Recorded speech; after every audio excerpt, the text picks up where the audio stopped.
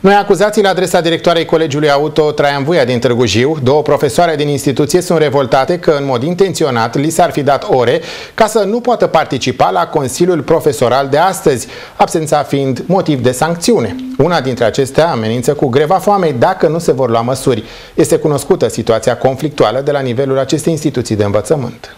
Nemulțumirile celor două profesoare de la Colegiul Auto din Târgu Jiu continuă. Acestea sunt în grevă japoneză din cauza neregulilor din această instituție de învățământ. Cadrele didactice sunt revoltate că nu s-a luat nicio măsură. Dacă situația va continua, una dintre profesoare amenință chiar cu greva foamei. Convocat această ședință când eu sunt singurul profesor din școală care am o oră la o clasă de zi ca să nu pot să particip, astfel încât doamna profesor să rămână singură și să putem uh, fi cel mai probabil uh, mătrășite.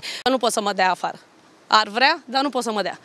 Cel puțin uh, deocamdată uh, sunt titular în învățământ, sunt titulară în urma primului concurs național, primul concurs l-am dat, pe acela l-am luat, toate mișcările le-am făcut pe poarta din față, am, se pare, cel puțin la catedra noastră, dar cred că la toate. Cred că am nivelul de studii cel mai înalt din școala asta, cam greu să mă dea afară. Ce aveți de gând să faceți dacă situația nu se schimbă? Uh, dacă situația nu se schimbă, probabil vom recurge la o formă de protest uh, mai dură pentru sănătatea noastră. Ce înseamnă asta? Asta înseamnă normal uh, greva foamei.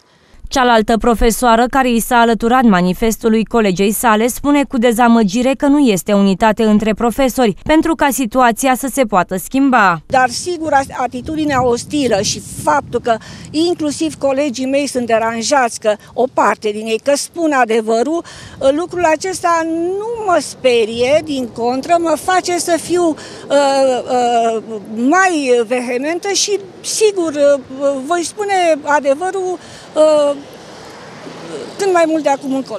Protestul profesoarelor nu afectează activitatea pe care o desfășoară acestea purtând o banderolă albă la ore. Dacă situația va continua, profesoarele amenință cu noi forme de protest.